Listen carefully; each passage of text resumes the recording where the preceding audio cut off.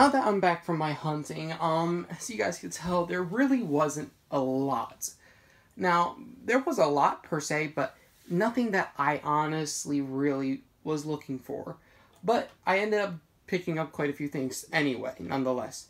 First thing I wanted to show off was what I picked up at FYE, which was three of these pop protectors.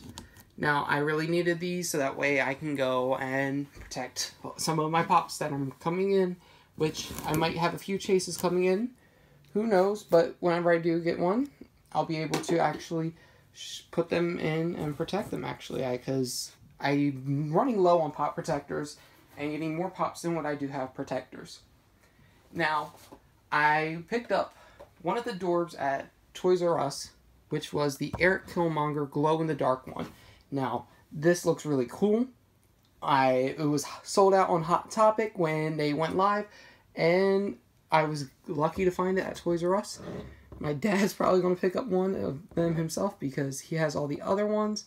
But yeah, that's really cool. I'm very happy with this. I ended up picking. I have the other one coming in, I believe, the um, blue one, but that's for a video in the future. But this is very, very cool.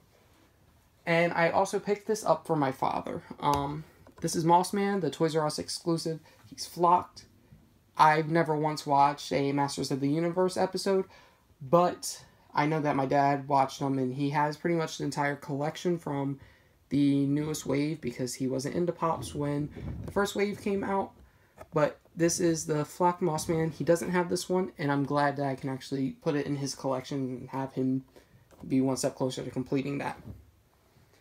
And the last thing I ended up being able to pick up was something that I want you guys to let me know if you guys want to participate in this. There's only going to be one person who I can do this with, unless I split it up into three separate videos, but I don't really want to do that because I have quite a few things to um take care of. The things I end up picking up were these Black Friday mystery boxes. I picked up one, two, three of them.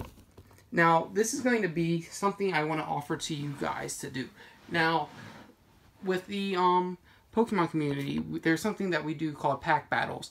And pack battles are we get like a few packs of Pokemon cards, such as five of them from a set, and then we open them up and we either let our viewers decide who wins, who gets the best pools, or we let the um, we go by a point system.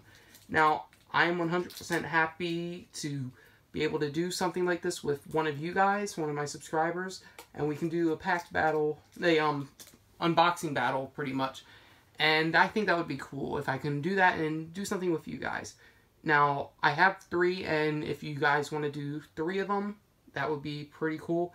So just let me know in the comments if you guys were are able to pick up three and if you want to do one with me. And if not, we can always have it like between quite a few people, and that would be pretty cool. But yeah, that's it for this video. If you guys did enjoy, please hit the thumbs up button.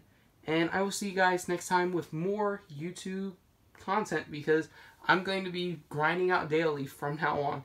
So until then, YouTube, I'm going to have to say goodbye.